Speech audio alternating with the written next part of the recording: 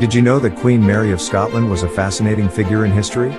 She became queen when she was only six days old and was later married off to the Dauphin of France when she was just 16. Mary was known for her striking beauty and was also an avid poet and musician. Her turbulent life included time spent imprisoned in various castles, and her cousin, Queen Elizabeth I of England, eventually signed her death warrant, leading to her execution in 1587.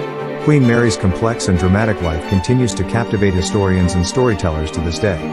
Don't forget to subscribe so you don't miss out on more great historical facts.